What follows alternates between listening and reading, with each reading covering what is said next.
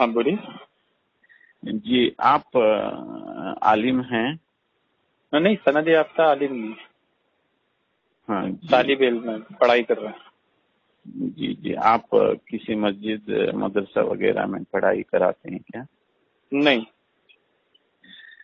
जी जी।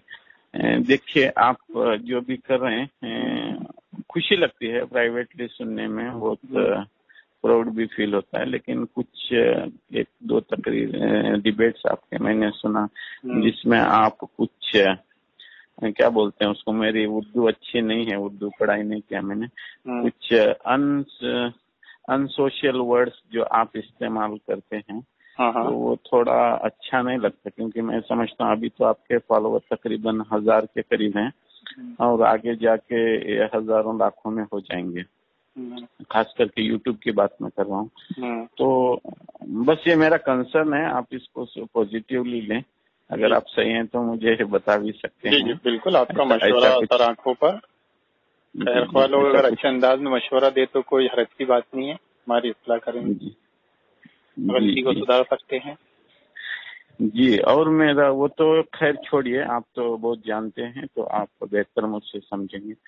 जो ऐसा अगर हम लोग टेलीफोनी डिबेट करने लगेंगे ये खास करके जो हनफी मज़हब के लोग हैं हम्म, हम्म, जो मेजोरिटी है इंडिया के अंदर हम्म, तो इसमें एक दरार नहीं पैदा होगी अहले हदीस और दीगर दूसरे मजहबों के साथ जैसा कि शाफी नहीं डिबेट करने में दरार क्यों पैदा होगी? ये कौन सी बात है? बताए तो बात करते करते फिर तो कल को आप ये भी बोल दोगे कि दावत का काम करने में भी दरार पैदा होती है तोहहीद की दावत देने में भी दरार पैदा होती है तो मत दो। नहीं ऐसी बात नहीं है। तोहहीद की दावत देने में दरार पैदा नहीं होती? नहीं होगी क्यों नहीं तो होगी मुशरिक अहले बिदत मुशरिक अहले बिदत आपसे राज़ी हो जाएँगे? वो तो राज़ी हो या ना हो उससे तो- हमको लेना देना हाँ तो बस डिबेट का भी वही उसूल है ना? जी जी। डिबेट का मकसद भी तो दा- तौहीद की दावत ही है। जी बिल्कुल सही हाँ। है। जी। बस यही मेरा कंसर्न है कि वो बाकी आप माशाल्लाह नहीं अल्हम्दुलिल्लाह देखिए क्या होता है ना एक चीज़ समझिए कि डिबेट ऐसा समझते हैं कि जैसे डिबेट करना अ, कोई खास आदमी का काम है। जी। ऐसा कुछ नहीं है भाई। जैसे आप अहले हदीस बनते हो ना तो। मुकल्लिद की नज़र में आप मुनाजिर बन जाते हो। जी। आप मुश्तहिद बन जाते हो आप मुहद्दिस बन जाते हो। क्यों? क्योंकि आप पर क्या एतराज़ करते हैं और आपसे क्या सवाल करते हैं? वो ही एतराज़ करते हैं कि भाई एल हदीस मुहदसिन होते हैं तुम नहीं। जी। एक एतराज़ ये होता है यानी आप अपने आप को मुहद्दिस कहना चाह रहे हो उसकी समझ के एतबार से। फिर दूसरा सवालात जो आपसे होते हैं ना तो वो उसी लेवल के होते हैं जो मुफ्ती लेवल के होते हैं। आम आलिम के भी नहीं। आम आलिम जी, उसका जवाब ना दे सके। आपसे वो सवाल नहीं किए जाते बल्कि एक आम अहले हदीस किसी गाँव शहर में एक ही बंदा अहले हदीस हो जाए तो उससे जो सवाल होते हैं ना तो वो मुफ्ती लेवल के होते हैं। जी बिल्कुल तो सही है ऐसा कुछ नहीं है कि भाई मैं ही डिबेट कर रहा हूँ और आप नहीं कर रहे हैं ये कोई अहले हदीस नहीं कर रहे बल्कि अहले मेरा तो मानना ये है कि अहले मेरी राय गलत भी हो सकती है। लेकिन अगर कोई उसके मुकाबले में कोई बात पेश करे तो मज़ा आए। लेकिन मेरा ये मानना है कि आदमी अहले हदीस बनता है तो फ़ौरन मुकल्लिदीन उसे मुनाजिर समझ लेते हैं और उससे उसी अंदाज में गुफ्तगू करते हैं और फिर वो हमेशा चैलेंज करते हैं। आओ हमारे आलिम से बात करो। क्यों? वो उससे बात क्यों नहीं करो? क्यों? क्योंकि वो आपका लेवल अगर अगरचे आप आलिम नहीं हो एक आम आमी हो उसके बावजूद भी अपने मुफ्ती और आलिम से गुफ्तगु करने की आपको दावत देते हैं। यानी आपका लेवल डायरेक्ट मुफ्ती आलिम मुहद्दिस मुजतहिद वाला हो जाता है। और आदमी अहले हदीस होते के साथ ही मुनाजिर ही होता है। ए, मुनाजिर का क्या मतलब है? मुनाजिर बोलते हैं मुनाजरा करने आमने सामने बात गुफ्तगू करने वाले को। हाँ हाँ जो रूबरू बात की जाती है डिबेट हाँ, की जाती है। हाँ जी। अब चूँकि ये टेक्नोलॉजी का जमाना है अब ऑडियो रिकॉर्डिंग आ गई है तो ये बेहतर रास्ता है।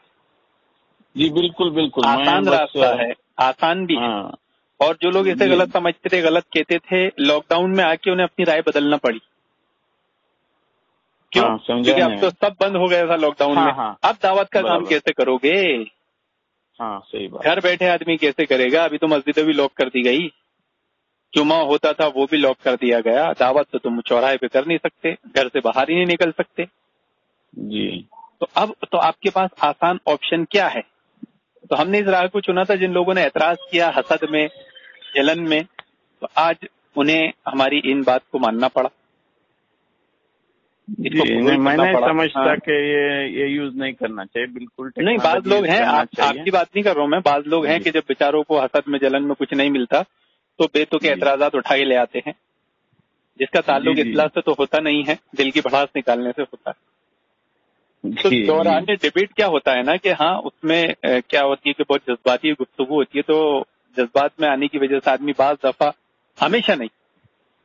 जो लोग हमेशा करते हैं उनकी तारीफ़ नहीं कर रहा हूँ मैं जो बाज दफ़ा इंसान है बाज दफ़ा उससे सख्त कलामी भी हो सकती है गैर अफजल अमल भी हो जाता है। जैसे इंसान। घर में रहता है तो हमेशा तो बीवी से मोहब्बत नहीं करता जी। बाज दफ़ा डांट भी लगा देता है बाज दफ़ा पिटाई भी कर देता है। जी। अब वो सारे अमल वो कर चुका होता है लेकिन वो ऐतराज किस पे करता है? वो सिर्फ़ ऑडियो रिकॉर्डिंग में या मुनाजरा गुफ्तगू करने वाले पर ही करता है। जैसे उसने ज़िंदगी में कभी किसी को गाली नहीं दिया। ये जी, ऐतराज तो उसको बनता है। जिसने कभी किसी को मारा ना हो किसी को गाली नहीं दी हो बा अखलाक हो तो उस पर बनता है कि वो ऐतराज कर सकता है। आदमी अपने आप को देखता ही नहीं और दूसरे पे करने बैठ जाता है। अच्छा उन हालात को भी समझता नहीं है वो। ये जो हालात उसके साथ बने हैं कभी मेरे साथ बन जाए। जब उसके साथ बन जाएँगे ना तो उससे दस गुना ज़्यादा वो शिद्दत इख्तियार कर लेगा। खैर आपका मशवरा है हम और नेक मशवरे पर तो बिल्कुल अमल किया जाएगा उसकी कोशिश नहीं मैं बस आपने एक अलग सा रास्ता चुना है नहीं नहीं अलग सा नहीं है ये कोई अलग सा रास्ता नहीं है ये आप ये कह सकते हो। बिल्कुल नहीं मेरी नज़र में ये अलग ही रास्ता है अलग ही रास्ता मेरा नहीं नहीं मतलब नहीं आप उसको असल देखिए अलग रास्ता कैसा होता मालूम है कि ये चीज़ पहले सदियों से पाई जाती। जैसे हमारे असलाफ के जमाने से पाई जाती है और किसी ने नहीं चुना और मैंने चुना तो अलग रास्ता कहते हैं। ये चूँकि टेक्नोलॉजी है और आज ही मार्केट में आई अभी मार्केट में आई ये चंद सालों में मार्केट में आई तो उस टेक्नोलॉजी को सबसे पहले यूज़ करने वाला आप कह सकते हैं। हाँ बराबर। जैसे वीडियो। अब वीडियो में बयान देना है तो अब ये कोई हम्म। अलग रास्ता तो नहीं है? आपको बोलते कोई मुहदस ने वीडियो में बयान दिया क्या? किसी असलाफ ने दिया अरे भाई वो जमाने में था ही नहीं। आज के दौर में अगर वीडियो आया और किसी आलिम ने इसका इस्तेमाल किया है तो उसने अलग रास्ता नहीं चुना है। सबसे पहले उसने उस टेक्नोलॉजी का इस्तेमाल किया है। नहीं मेरा अलग रास्ता चुनने का मतलब है कि लोगों को समझाने का तरीका जो डिबेट के ज़रिए से। पहले तो ऐसा नहीं नहीं नहीं होता था। नहीं नहीं डिबेट तो हर जमाने में रही अंबिया के जमाने में भी रही है भाई। डिबेट से समझाना कोई वो थोड़ी है। और पहले तो बाकायदा ये हमने इसलिए चुने कि आसान है। देखिए, मैं आप इसकी- बिल्कुल आसानियां- हाँ देखिए मैं एक चीज़ बता रहा हूँ कि आप टेंशन से टेंशन वाले टॉपिक जैसे करबला का मसला है है ना? जी जी। नहीं मैं वही मुझे बहुत अच्छा लगा आपका। हाँ ये नहीं नहीं इसके पहले इसके मैं भी बस इसी गलत फहमियों में था शुरू में तो इसके पहले पीछे समझ में आ गया था बाद इसके हाँ, पीछे बाद में आपसे बहुत सारी तफसील मुझे समझ में आ गई। जी जी। और मुझे आप लास्ट एक वीडियो आपका ऑडियो रिकॉर्डिंग मैंने सुना जो क्यों ऐसा एतराज़ करते हैं आपका ये टॉपिक और ये एंगल भी मुझे बहुत अच्छा लगा। जी अल्हम्दुलिल्लाह। आपने बताया कि ये इस्लाम इस्लामी हुकूमत और इस्लामी हुक्मरान को खास करके हम्म। तौहीद परस्त। हम्म इनको कमज़ोर करने के लिए अटैक ऐसे तरीके से ही होता है और आदमी इसको समझता नहीं है। ये। बहुत अच्छा लगा मुझे। जी जी। जी। तो मैं जो बोलना चाह रहा था इसके पीछे। हिकमत क्या है? बस ये बस ऐसा नहीं है कि मैं ही समझदार हूँ बाकी लोग नहीं है भैया कि पहले जो समझ जाए यानी वो एक। मिसाल है ना कि रेगिस्तान तपते रेगिस्तान में जो पहली बूंद गिरती है उसका ही जिगर होता है। उसके बाद तो भले वहाँ मूसलाधार बारिश हो उसकी कोई अहमियत नहीं होती। जिगर किसका माना जाता है? कि भाई ये तपते रेगिस्तान में पहली बूंद गिरी है। ये ये है हिम्मत जुर्रा तो अब इस टेक्नोलॉजी को इस्तेमाल करने में अल्हम्दुलिल्लाह ताला ने हमको एक तौफीक दिया हमसे काम ले लिया। हम अल्लाह ताला के शुक्रगुजार हैं। अल्लाह ताला हमारे अमल को कबूल फरमाए रिया से बचाए। लेकिन इसके पीछे बहुत सारी चीज़ें थी। देखिए जैसे जो करबला का टॉपिक मैंने बताया आप इससे रूबरू मुनाजा करने जाएँगे। इतने वसी दलाइल इतनी वसी बातें हैं कि एक मुनाजरे में तो फैसला होगा भी नहीं। जी जी। और इतना जज्बाती होता है कि झगड़ा होने का पूरा चांस है। हाँ हाँ और जैसे कि पहले मुनाजरों में आप देख चुके हैं कि स्टेज लगते थे झगड़े होते थे पुलिस को कैंसिल कराना पड़ता था मुनाजरा। जी जी एक टेंशन वाला माहौल बन जाता था। आज ऑडियो रिकॉर्डिंग से आप वो सारी बातें घर बैठे कर सकते हैं आवाम घर बैठे सुन सकती है और कोई फितना भी नहीं। जी बिल्कुल। है ना? तो अब बड़े नुकसान से बेहतर छोटा नुकसान है या बड़ा नुकसान? है आपने रूबरू आके मुनाजरा किया उसमें एक हज़ार लोग आपके दुश्मन बन गए। और आपने ऑडियो रिकॉर्डिंग में मुनाजरा किया और उसमें सिर्फ़ आपका एक ही आदमी दुश्मन बना। तो कौन सा नुकसान बेहतर है? हदीस हमें ही बताती है कि बड़े नुकसान से छोटा हाँ। नुकसान बेहतर है। छोटा नुकसान बेहतर है। तो आप इसके बावजूद भी आदमी इसे नहीं अपनाए या इस पर तंज एहसास करे तो ये उसकी नासमझी है। हमें उसकी इसलाह करना जी। चाहिए।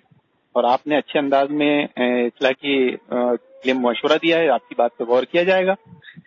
नहीं बिल्कुल नहीं मैं बस मैं जो देख रहा हूँ हाँ ये जो की बात है ना इतिहाद की ये देखिए ये बहुत बड़ा झांसा होता है। इत्तेहाद सिर्फ़ तौहीद के बुनियाद पर ही हो सकता है इसके। सिवा नहीं हो सकता। मेरा चैनल है यूट्यूब पर। हाँ, नदीम खान नहीं मैं बाद हाँ। उलमा से मैंने सुना है बस। यही बात। नहीं मैं देखा हूँ आपका ट्यूब मैं हाँ उसको सब्सक्राइब कीजिए चैनल को चैनल को सब्सक्राइब। कीजिए। और इंशाल्लाह ये जुमे का खुतबा भी आएगा तो उसमें तोहीद की अहमियत ही बयान की जाएगी। गमों परेशानियों का इलाज चल रहा है अभी खुतबा। तो जी। अगर मैं चाह रहा सब कुछ ठीक रहा तो ये जुमा नहीं तो आप फिर आइंदा कभी जुमा में आएगा। तो उसमें यही बताया जाएगा इनशाला तोहीद जो है वो यही है इसका बुनियादी मकसद ये है कि तोहीद से ही मुसलमान एक हुए थे। उनमें इतिहाद कायम हुआ था। बाकी और किसी चीज़ पर आप इतिहाद कायम नहीं कर सकते। और होगा भी नहीं। आरजी तौर पर आपको लगेगा कि मुत्तहिद हो गया। किसी ने कोई सियासी पार्टी बना लिया इत्तेहाद जी। के लिए। किसी ने कोई मसलक बना लिया मुत्तहिद होने के लिए। किसी ने कोई जमात बना लिया। तो ये सब। आरजी होता है। इससे वो रिज़ल्ट आ ही नहीं सकता जो तोहहीद से आएगा। इख्तलाफ हमेशा बाकी रहेगा। तोहहीद ही आपके इख्तिलाफ को खत्म कर सकती है। जी। तो ये मैं समझता हूँ कि आप ये चंद सवालात जो फ्रिक्वेंटली पूछते हैं ना ये मुकल्लिद लोग हैं नहीं जो फॉलोअर्स ब्लाइंड फॉलोअर्स हैं इमाम अबू हनीफा के इमाम शाफई के ये कुछ सवाल आप बनाए तो कुछ नॉर्मल लोग भी आप जैसे इसमें लोगों से जवाब दे सकते हैं मेरे ख्याल में। हेलो। हेलो